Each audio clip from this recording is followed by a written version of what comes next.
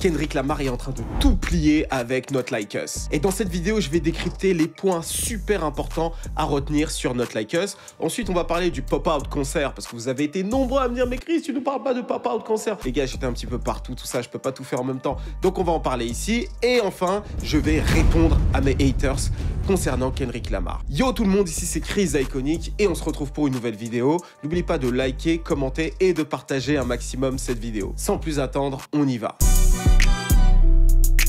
Alors tout d'abord, parlons de la toute première scène du clip.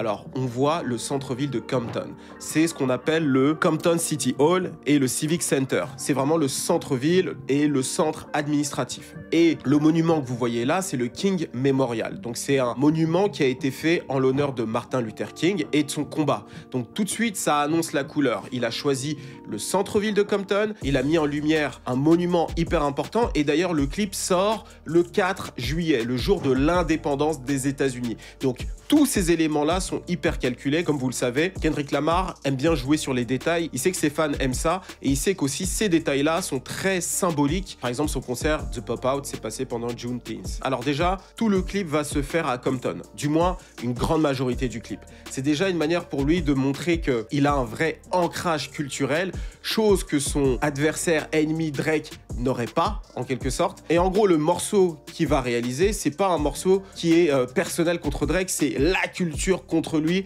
en quelque sorte. Ah oui, un autre élément hyper important, Drake disait dans Family Matters que quand Kendrick rappe, c'est comme s'il était euh, sur le point de libérer les esclaves.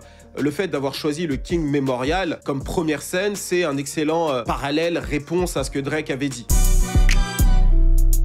La deuxième scène importante, c'est le preview du morceau.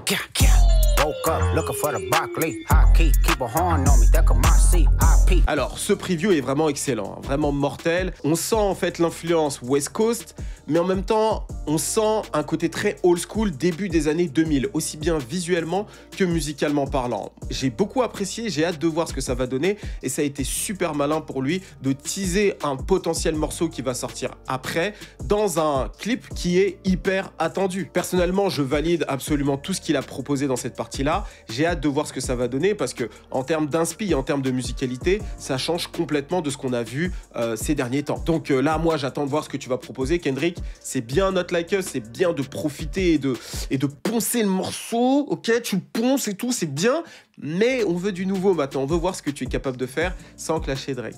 Enfin, je sais ce que tu es capable de faire sans clasher Drake, mais ça fait longtemps que t'as pas fait quelque chose de très lourd sans clasher Drake.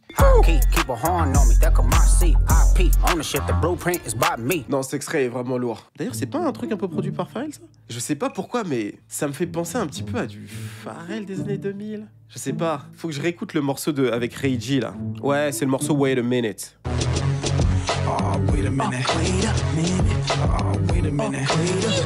Bon, ça reste vraiment du Pharrell. Je sais pas si c'est Pharrell qui a produit ça, mais ça m'étonnerait pas que ce soit lui. Et ce serait euh, un excellent euh, get back euh, à Drake. On verra dans l'avenir, mais en tout cas, ce morceau-là s'annonce très chaud. Ensuite, troisième scène vraiment importante, c'est la scène où Kendrick Lamar tape à une porte et il y a un clown qui ouvre. Alors ce clown fait un peu flipper, je te l'accorde, mais on est très loin de ça le clown, d'accord?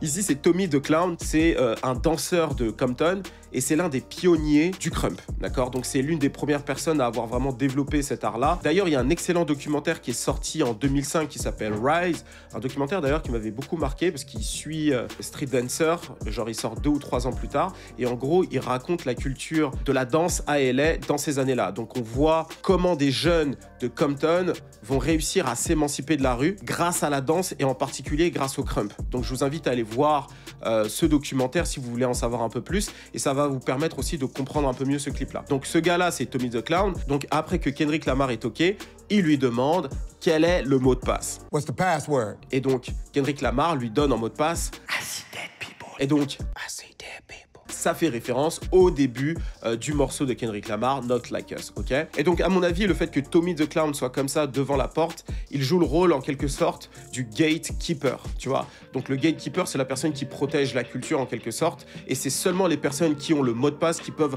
rentrer dans la pièce. Et en l'occurrence ici, c'est Kendrick Lamar qui connaît le mot de passe qui est see dead people. Donc, le début du clash Not Like Us, qui représente donc le morceau qui va tuer la personne qui n'est pas de la culture et qui essaye d'y rentrer. Je sais pas si tu me suis, le décryptage est peut-être allé un peu loin, mais je pense qu'on n'est pas loin de ce qui est vrai. Et donc une fois qu'il donne le mot de passe, il rentre dans la pièce et c'est là qu'il tombe sur des danseurs de crump et euh, Tommy the Clown en guise de professeur. Et Tommy the Clown, c'est un pilier à Compton, et donc ici, c'est le professeur, donc ça a beaucoup de sens. Et donc ensuite, il rentre dans la classe et on voit l'une des danseuses de Crump en train de taper son meilleur Seawall. Putain, avant, je savais trop bien faire le Seawall d'ailleurs.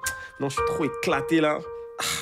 Mais je vois, ça revient à la mode, donc euh, je crois que je vais essayer de, le retaffer un peu, là, on sait pas, là, pendant un festival, là, je sais pas, je tape vite fait un pas, là, histoire de leur montrer que, hein, Chris connu quand même, ça va un peu, hein, ça va un peu danser. Enfin bref, donc elle tape son meilleur creep walk, donc ça annonce la couleur, on est dans un clip euh, West Coast et dans un délire Compton, clairement. À mon avis, c'est vraiment la première scène où il s'attaque directement à Drake. En fait, je parle du moment où il est dans une pièce noire, il est de dos et il y a un homme qui s'approche de lui et d'un coup cet homme-là se fait euh, aspirer par l'arrière et donc il arrive même pas à toucher Kendrick Lamar. D'accord Et Kendrick Lamar n'a même pas eu besoin de se retourner. D'ailleurs, juste à côté, t'as toujours un mec qui est en train de taper son meilleur creep walk. Ok? Le creep walk dans ce clip, c'est une constante. Et donc, ce gars-là représente Drake pour moi. Alors pourquoi Drake? Parce que si tu regardes Dark Lane euh, Demos qui est sorti en 2021, tu regardes la cover, sur cette cover là, tu vois c'est Drake avec le fameux masque. C'est la période où Drake aimait se masquer et c'est la période où la culture drill était hyper populaire. Donc tu avais un tas de rappeurs masqués qui sortaient de partout, euh, que ce soit euh, au UK, en France, etc. Donc c'était hyper populaire et Drake surfait à fond sur cette vague là. Si tu regardes le clip de Tootsie Slide, désolé d'ailleurs ceux qui ont aimé Tootsie Slide, moi je l'ai vraiment pas aimé. Et donc là si tu regardes le passage, le gars s'approche de Kendrick Lamar et il se fait donc aspirer. Et à mon avis, ça représente Drake qui se fait aspirer et Kendrick Lamar qui est lui euh, hyper puissant spirituellement parlant. Et si tu suis un petit peu Kendrick Lamar sur son dernier album, chose que la plupart d'entre vous n'avaient pas fait là, euh, les soi-disant haters là, on va en parler à la fin de la vidéo. Et notamment sur le clash, tu sais que Kendrick Lamar est quelqu'un de très spirituel. Et justement, il reproche à Drake de ne pas apprendre à son enfant comment prier.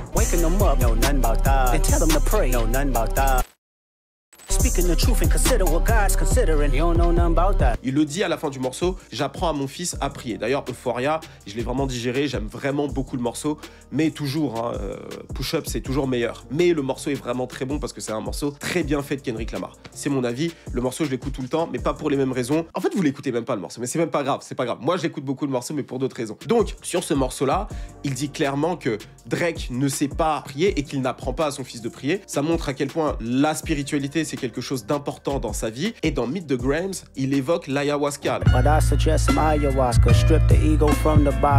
Alors l'ayahuasca, c'est une plante que tu retrouves en Amérique du Sud qui est utilisée pour euh, des rituels euh, spirituels. Et il dit dans le morceau que Drake devrait prendre de l'ayahuasca, donc là c'est une plante hallucinogène. C'est vraiment quelque chose de très fort. D'ailleurs, si vous êtes intéressé par tous ces sujets, euh, allez voir le compte de mon gars Carlson sur TikTok. Il fait beaucoup de contenu autour de la spiritualité. Et je crois qu'il a parlé de l'ayahuasca. Et donc, l'ayahuasca, c'est quelque chose d'assez fort et c'est pour les gens qui s'intéressent vraiment à la spiritualité. Je suis certain que Kendrick Lamar a dû en prendre à un moment donné. Et donc, il dit à Drake de le prendre de l'ayahuasca pour déshabiller son ego. Donc, il allé sur des termes très techniques. Et comme je vous ai dit dans ma vidéo sur le clash entre Drake et Kendrick Lamar, ce morceau là c'est vraiment le morceau où il a été le plus chirurgical en termes de punchline et en termes d'incisivité. Voilà. Et donc, la spiritualité, c'est un sujet qui intéresse beaucoup Kendrick Lamar. Et là, en fait, il montre euh, qu'il est arrivé au top de son niveau et qu'il est devenu tellement puissant spirituellement parlant que lorsque ses ennemis l'attaquent, même euh, lorsqu'il est de dos, eh ben ils peuvent rien en fait. Ils se font aspirer. voilà. Donc euh, très important à noter. D'ailleurs, hein, euh, l'ambiance globale du clip avec les phares comme ça, ça me fait penser au clip de AD1. Donc Drake aime beaucoup ces ambiances-là, donc clairement là, c'est une attaque directe à lui. Cinquième scène, la scène où Kendrick Lamar est en train de faire des pompes. Alors ce que j'aime avec cette scène, c'est que Kendrick Lamar, c'est jouer sur le sarcasme en fait. Donc comme tu le sais, Drake a sorti le morceau Push-Ups. Donc le morceau Push-Ups fait référence à la vidéo de Kendrick Lamar où il est en train de faire des pompes dehors, ok? Des pompes très militaires, très disciplinées. Et dans le morceau, il fait référence à Top Dog, l'ancien boss de son label, donc de TDI, qui dit en gros à Kendrick Lamar de se mettre au sol et de faire 50 pompes, d'accord? Et c'est un double sens, ça veut aussi dire que Kendrick Lamar doit lui donner 50% de ses revenus, d'accord? C'est même pas une dinguerie en réalité hein, de donner 50% de tes revenus lorsque tu es un artiste. Dans un certains qui euh, donnent 92%, d'accord? Donc Kendrick Lamar, en vrai de vrai, même s'il devait donner 50% à, Top Dog, c'est pas une dinguerie. Mais bref, euh, c'est un autre sujet. Et donc en fait, là, Kendrick Lamar est en train de reproduire cette scène et il fait une forme d'autodérision sarcastique euh, pour euh, envoyer encore une fois un pic à Drake. Donc il est en train de faire ses pompes dans une espèce de prison. On voit qu'il y a qu'un lit et des enceintes. Donc ça montre qu'il a absolument rien. Donc il est en prison. Et euh, le seul truc qu'il a, c'est des enceintes. Donc pour faire de la musique. Et donc là, il est dans cette pièce en train de faire des pompes, tout triste avec un pain dans les cheveux. Donc en gros, il est en train de se foutre de la gueule de Drake en disant "Ah, oh, c'est vrai, je suis en train de souffrir", tu vois. Par contre, je sais pas à quoi correspond exactement le tableau qui est retourné. Je sais pas pourquoi, mais ça m'a fait penser à Nothing Was the Same parce que j'ai souvent vu la cover représentée euh, sur euh, des tableaux. Donc peut-être que c'est ça, mais je sais pas exactement euh, ce que ça représente. Est-ce que vous avez des idées, vous? Qu'est-ce que ça peut représenter à votre avis? Ensuite, sixième scène vraiment importante, la scène de la piñata en forme de chouette. Alors, je pense que vous avez compris euh, la chouette, ça fait référence au logo de OVO. Alors, ce qu'il faut retenir ici, c'est la piñata. Alors, pourquoi avoir choisi la piñata? Alors, il faut pas oublier que à LA, il y a une grande majorité de Mexicains et la piñata fait partie de la culture mexicaine. Dans tous les anniversaires euh, des enfants et des adolescents, tu as des piñatas où les gamins tapent sur la piñata pour faire tomber les bonbons. Donc, en fait, c'est une manière pour lui d'inclure la culture mexicaine, les Mexicains globalement de LA, dans le clip. Ça lui a été reproché par euh, un podcasteur mexicain en particulier de ne pas avoir assez inclus les Mexicains d'LA dans euh, le pop-out concert. On va reparler aussi de ce concert un peu plus tard. The Mexican people were underrepresented there. Last night. Et puis il y a autre chose important à noter juste en dessous euh, de la piñata, c'est ce message aucun OVO n'a été blessé lors de la réalisation de ce clip. Donc une belle manière de se moquer de Drake, je trouve ça hyper fun perso. Ensuite, septième chose à noter, la marelle. Il joue pas vraiment à la marelle, mais bon, c'est euh, le passage idéal pour se foutre de Drake en criant Minor. Il fait référence au fait que Drake serait un P. Et les gars, il sait que c'est faux, hein. tout le monde sait que c'est faux, euh, mais c'est bien pour le clash, ok? Le but c'était de détruire Drake à tout prix, et euh, ce type d'accusation-là, ça fait mouche. Donc voilà, je vous le dis parce que j'ai l'impression dans mes commentaires, t'en as, ils se prennent trop sérieux, ça n'en est pas un, bref. Mais c'est super drôle la manière dont il a fait, un peu moins pour OVO et Drake, mais il faut dire que ça a été hyper fin de sa part, et en fait Kendrick Lamar sait très bien se moquer des gens en fait. Il a vraiment su le montrer avec ce clip. Là, j'avoue, cette scène, elle est chaude.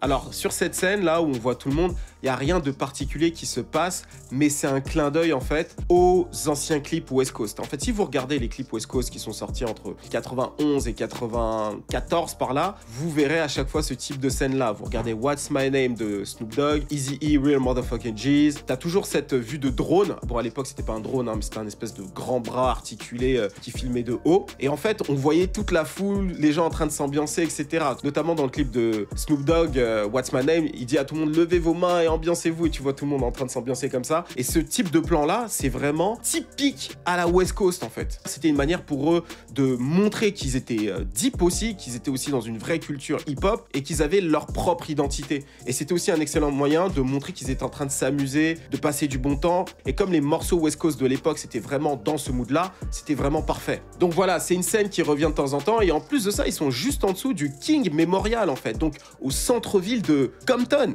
Et à ma connaissance, les autres scènes du genre se passaient toujours euh, dans des autres endroits de la ville. Là, c'est vraiment au centre-ville euh, de Compton, donc ça montre à quel point le hip-hop aujourd'hui a pris une telle ampleur dans la ville et qu'il est même accepté à l'endroit probablement le plus important le centre administratif quoi. Il y a plein de très belles scènes, hein, mais j'ai vraiment retenu les plus symboliques. Hein. Neuvième scène vraiment marquante du clip, c'est le moment où on voit Demar de Roseanne. Alors cette scène-là a beaucoup marqué. Pourquoi? Parce que Demar de Roseanne, ce qu'il faut savoir, c'est qu'il est de Compton de base, mais il a joué au prime de Toronto Raptors en 2019-2018, cette période-là. Bon, ça faisait plus longtemps qu'il jouait pour eux, mais vraiment 2019-2018. C'est la même période où Drake était hyper présent à tous les matchs des Toronto Raptors, et c'est aussi euh, dans cette période-là qu'il a fait cette fameuse vidéo là. Alors du coup, cette scène-là, c'est un peu un retour au bercail parce que démarre de Roseanne a joué pour Toronto Raptors, ensuite les Chicago Bulls. Et là, on le voit dans le clip de Kendrick Lamar, c'est une manière de dire voilà, certes, j'ai joué pour euh, Toronto, certes, je connais Drake. And my city love me like DeMar DeRozan. I sent her the child support, she sent me the heart emoji. And just him being there for me as a friend, no matter what, he'll forever have Certes, j'étais peut-être proche de Drake à un moment donné, mais je suis un mec de Compton en fait. Donc c'est un petit peu ce qui se passe en ce moment avec Drake. Beaucoup de gens qui étaient proches de lui euh, il y a quelques années lui tournent le dos en quelque sorte avec tout ce qui est en train de se passer en ce moment, tu vois. Le fait qu'on voit LeBron James au pop-out concert, YG aussi, etc. Que ce soit les rappeurs ou les sportifs d'ailleurs. Donc Demar de Rosen dit ici je suis rentré à la maison, ok? Dixième scène marquante. Donc, lorsqu'on voit Kendrick Lamar dans un port habillé en costard. Alors, le fait qu'il soit habillé en costard sur un espèce de port avec plein de containers, c'est pas choisi au hasard. C'est une manière pour lui de représenter euh, le moment business du clip, d'accord? Et il est, même s'il est habillé en costume et que c'est un moment business, on voit qu'il danse toujours, donc il se prend pas à fond au sérieux, tu vois? Et dans cette même scène, on voit donc Demar de Rosen, mais aussi et surtout, on voit qui? Dev Free. Alors, Dev Free, si vous avez suivi mes précédentes vidéo ou si vous connaissez Kendrick Lamar, vous savez qui c'est. Dave Free, c'est son meilleur pote, son bras droit depuis TDE. Il était manager de Kendrick Lamar et sur PG Lang, il est cofondateur. Et c'est également lui que Drake s'est servi pour attaquer Kendrick Lamar pendant ce clash. Dans Family Matters, il dit que Dave Free serait l'un des pères biologiques de l'un des fils de Kendrick Lamar. Vous savez ce passage où il crie Dave Free Free. Bon voilà, ce passage-là. Et également sur The Earth Part 6, il s'est servi d'un commentaire de Free en guise de cover. Et dans le morceau, je crois qu'il en reparle. Bon, The Earth Part 6, c'est peut-être le morceau de Drake que j'écoute le moins euh, parmi les trois morceaux Clash. Donc je sais plus s'il le dit clairement. Mais en tout cas, il a souvent évoqué Free. Donc en le montrant comme ça dans le clip, c'est une manière de dire Hey, on est toujours liés, on est toujours potes, on ne te croit pas et on t'a jamais fait confiance. Et le business se porte à merveille. On est dans un port avec v'là les containers derrière, d'accord? Et on va bicrave v'là les bails. Et là, bien sûr, il y a toujours nos potos crampeurs qui sont en train de danser. Mais ça, il faut pas que tu fasses attention. Là, c'est juste esthétique et c'est pour accompagner le morceau. Mais ce que tu dois retenir, c'est qu'il y a des containers, on fait du business et on a ce check très particulier là. Si vous regardez dans le clip, il se check un peu bizarrement. On sait pas trop quel type de check ils se font, mais c'est un check un peu. Euh, secret pour dire ok c'est toujours entre toi et moi que ça se passe on est ensemble c'est des conneries et ça Kendrick Lamar va le montrer tout au long du clip hein. et toutes les attaques de Drake sur son entourage il va y répondre visuellement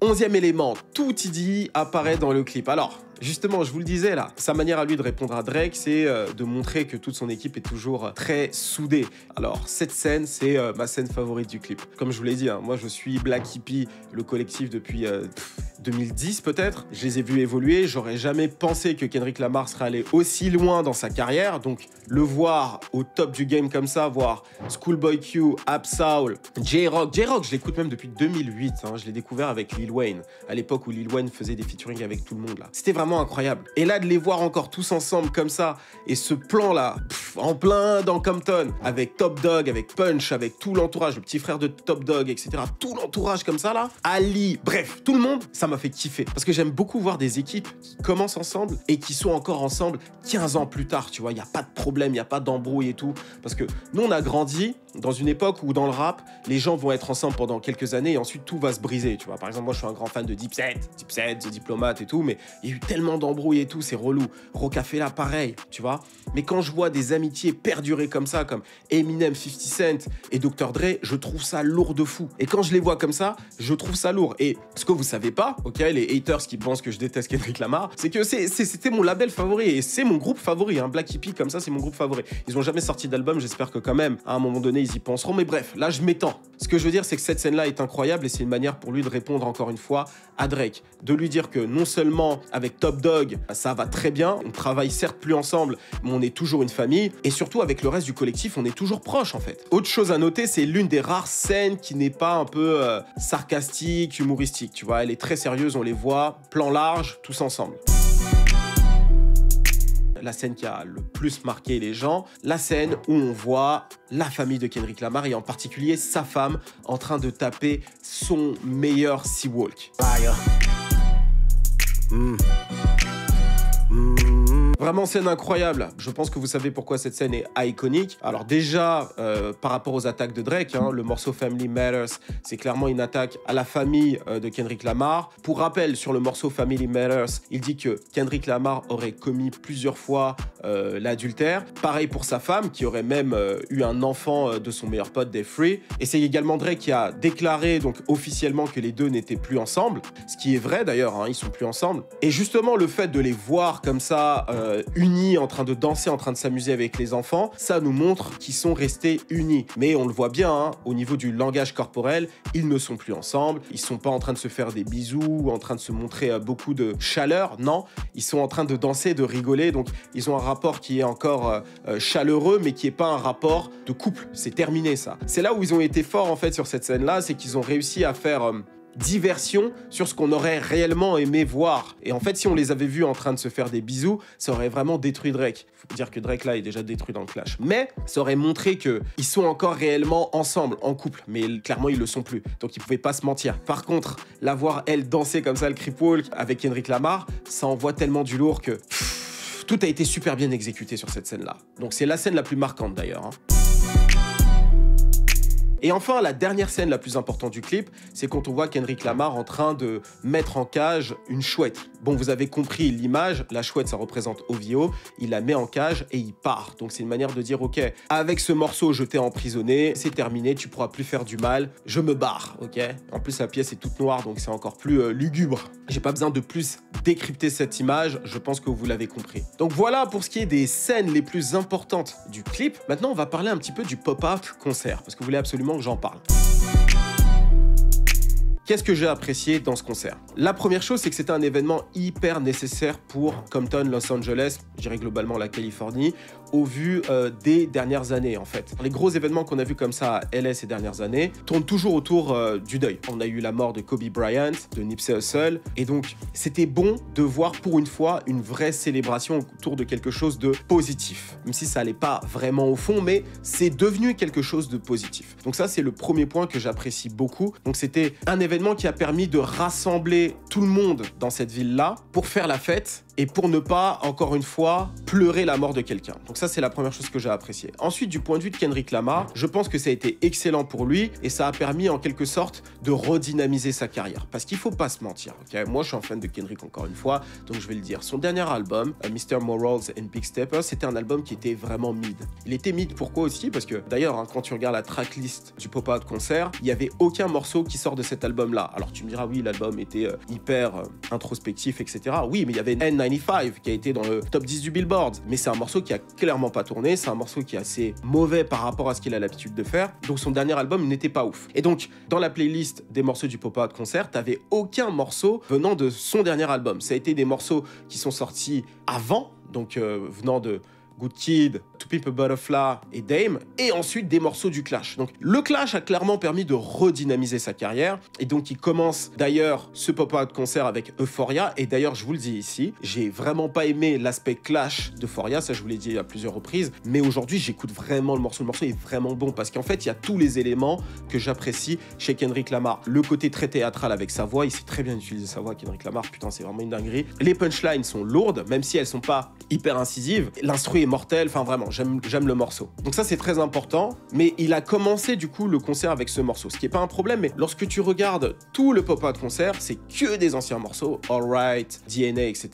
Et enfin il boucle le, le pop-out concert avec Not Like Us qui joue 5 fois, d'accord? Euh, Je pense que c'était un peu trop. Je pense qu'il aurait pu le jouer deux fois et avant ça nous jouer peut-être des morceaux de son dernier album, essayer de continuer à le défendre parce que j'ai pas trop aimé l'album, mais peut-être que jouer sur scène, je peux changer d'avis. Enfin, tu vois ce que je veux dire? S'il explique les morceaux, s'il les défend, on peut se mettre à les apprécier, quoi. Mais il a même pas essayé de le faire, il est déjà passé à autre chose. Donc ça, c'est un peu dommage. Autre chose qui est cool avec le pop-out concert, c'est que ça a permis à des petits artistes de la West Coast de pouvoir être mis en lumière. C'est ce que je reprochais d'ailleurs à Kendrick Lamar, c'est de ne pas assez mettre des petits artistes de la West Coast en lumière. Donc ça, ça a été cool. Il a ramené Dre sur scène, donc moi je peux que valider. Donc j'ai beaucoup aimé ce côté très fédérateur qu'il a su faire avec le pop-out concert. Et d'ailleurs, je pense que c'est le premier événement que Kendrick Lamar organise qui est réellement fédérateur de la West Coast. Je ne crois pas qu'il ait fait euh, dans le passé, parce que dans ses albums, c'est pas le cas. Et euh, sur scène, en général, ce qu'il fait, c'est très arty et ça le correspond réellement à lui. Donc j'ai beaucoup apprécié ça avec cet événement-là. Donc voilà ce que je pense du pop-out concert. Maintenant, j'aimerais m'adresser euh, à mes haters par rapport à ce clash. En fait, il y a plusieurs choses qui ne vont pas. La première chose, c'est que j'ai l'impression que beaucoup d'entre vous ont des problèmes de compréhension. En fait, tu peux apprécier un artiste et aussi un autre artiste, dire pourquoi tu préfères un artiste dans une situation donnée, et en même temps dire Ah, j'apprécie cet artiste, mais sur ce coup, je suis pour cet artiste, mais cet autre artiste, je l'apprécie aussi pour ces raisons-là. C'est ce qui s'appelle la nuance. Et moi, j'essaie de faire ça depuis le début de ma chaîne. Faire preuve de nuance, expliquer pourquoi j'apprécie un artiste et pourquoi je ne l'apprécie pas. Mais le problème, c'est que dans mes commentaires récemment, j'ai l'impression que vous savez pas faire vous preuve d'objectivité. Parce que je peux faire une vidéo où j'explique pourquoi les gens détestent Drake, d'accord? Donc, je vais faire une vidéo de 40 minutes où je vais expliquer toutes les raisons pour lesquelles potentiellement Drake n'est pas aimé, mais derrière, je suis capable dans cette même vidéo de dire ok cette raison elle est valide. Selon moi elle est valide. Cette raison elle n'est pas valide. D'accord? Cette raison je trouve que c'est un petit peu abusé. C'est ce qui s'appelle faire preuve d'objectivité. Et le problème c'est que Internet et en particulier vous ne faites pas preuve d'objectivité. J'ai fait une vidéo d'une heure et demie où j'expliquais que Kendrick Lamar avait gagné avec des critères clairement objectifs. Musicalité, punchline, etc. Donc j'explique pourquoi réellement je pense que Kendrick Lamar a gagné ce clash. Mais à la fin, t'as quand même des gens sur Twitter qui disent Alors? Alors Chris? Drake il a gagné ou il a perdu? J'ai mais les gars, vous regardez même pas mes vidéos en fait, vous faites semblant de regarder mes vidéos. Regardez les vidéos du début à la fin. Je me prends la tête à faire des analyses, à faire des recherches et à vous donner mon avis. Tout ce que je demande de votre côté, c'est de regarder les vidéos de bout en bout et de laisser votre euh, subjectivité et votre colère et d'écouter les vidéos. Je peux avoir raison, je peux avoir tort, mais au moins je suis objectif. Et enfin, dernière petite chose, vous n'êtes pas fan de Kendrick Lamar. Bah ouais, en fait. Juste, vous détestez Drake. Mais ça, c'est ok, vous pouvez détester Drake. Mais je sais que vous n'êtes pas fan de Kendrick Lamar. Je vous parle dans la rue. Et on a certains, vous savez même pas le nom du dernier album de Kendrick Lamar. Vous détestez Drake et surtout, vous êtes esclave des algorithmes. C'est-à-dire que l'algorithme vous a dit que Drake avait perdu et vous répétez bêtement que Drake a perdu. Moi, je vous dis que Drake a perdu parce que je l'ai analysé j'ai écouté les morceaux. Donc faites-en de même. Commencez à réfléchir de vous-même. Et écoutez réellement Kendrick Lamar. Parce que pour le coup, Kendrick Lamar a fait de super albums. C'est l'un des meilleurs artistes de tous les temps, Mais arrêtez de sauter juste. Oh, vous avez vu, Drake s'est pris une fessée. Eh les gars, analysez un peu. C'est ça que je vous demande. En fait, je m'en fiche en vrai. Moi, ça fait de l'interaction, ça fait de l'engagement. Mais en fait, ce clash, ça m'a permis de voir à quel point les gens étaient hyper manipulables. C'est une dinguerie, les gars. Donc prenez le temps d'analyser de vous-même et de sauter pas au cou des gens. En vrai, moi, j'aime tous les morceaux. Je vais vous dire, dans mes playlists, j'écoute tous les clashs. Donc moi, je m'en fous en vrai. Juste, comme je vous l'ai dit, j'ai une préférence pour Drake là, en ce moment. Sur les 2-3 dernières années, j'ai une préférence pour Drake par rapport à Kendrick Lamar et j'ai expliqué pourquoi. Mais j'aime les deux. Donc détendez-vous, retournez écouter la playlist de Kendrick Lamar et ensuite on en reparlera quand on se verra. C'est ce que je voulais absolument dire parce qu'il y en a marre en fait. Des mythos là, vous êtes des mythos. Bref, dites-moi ce que vous avez pensé du clip Not Like Us. N'oubliez pas de liker, commenter et de partager un maximum cette vidéo. C'était Major d'Iconic pour vous servir. Cheers